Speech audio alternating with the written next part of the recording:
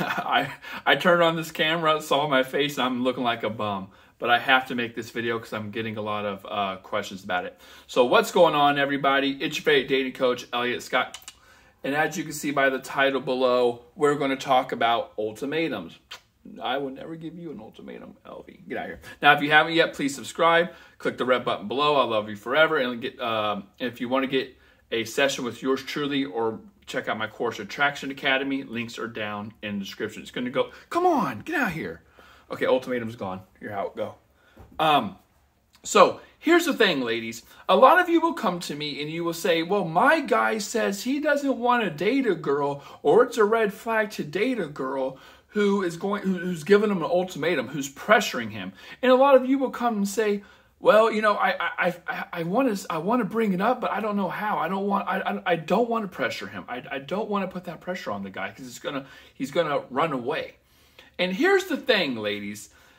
At eight dates, right, or eight weeks, I don't care, whatever comes first. At eight dates, if he did not say anything you have to.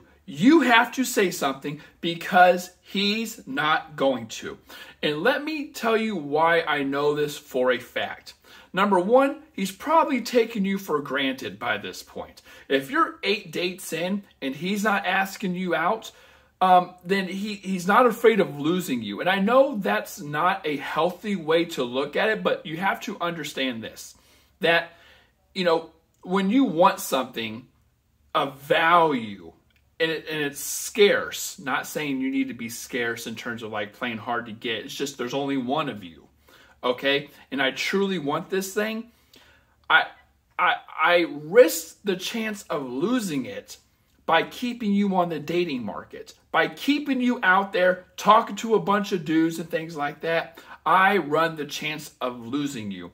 However, guys get very complacent and or very comfortable in the fact that they know you're not the same way that we are. We will talk to a bunch of women. Not all guys, but you know, most of the guys on Tinder and all that, they'll talk to a bunch of women and things like that. And they know you're loyal and that you're wanting a relationship and that you're not just going to walk away from eight dates or eight weeks, that you're hoping something will come out of this.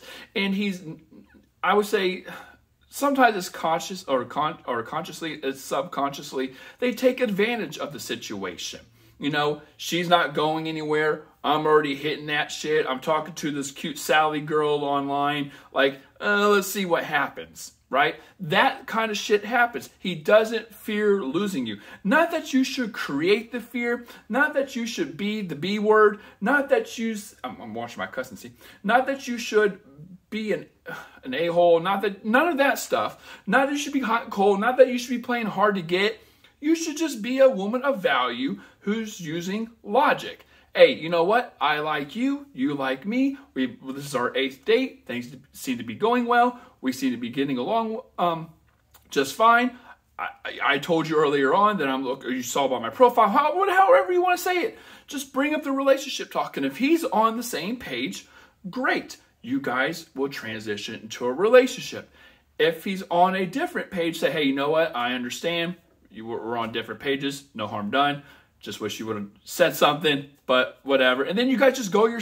That's not what I want, Delsar. And you go your separate ways. You know, of course, don't say it so wordy. Just say something because if you don't, or sorry, if he doesn't, you have to. Well, actually, yeah. And if you don't, he especially won't. If he has not said it within eight weeks, he is trying to have his cake and eat it too. Whether that's on purpose, whether that's with a malicious intent or not, um, I always I don't think it's always malicious. Some guys just like talking to you and wanting to see where it goes while talking to someone else, and then he gets bit, you know, whatever. But at the same time, I tell women, whatever happens to you, happens to you for two reasons. He thinks he can get away with it, and because you let him. Okay. It's as simple as that. So at eight dates, don't think of it as pressuring him. Don't let him gaslight and turn it around and say, uh, uh, I, you know, I, I am not going to date a girl who, who pressures me and, and gives me an ultimatum. It's like, dude, I gave you eight weeks. I gave you eight dates. How many more do you want? You know, Um, and if he talks about being unsure or being emotionally unavailable, it's like, dude, you need to check that shit at the door. That shit you need to get ready. That or that's that you need to get off your chest. You need to tell your therapist, uh, Susan, your therapist, whatever, to uh, or Steve, whatever, that you need to get that shit off your chest before you get on the dating market, dude. Like no girl wants to to date some dude who who's unsure about being in a relationship. It's just wasting someone's time. So that being said, ladies, I love you all. Take care and peace.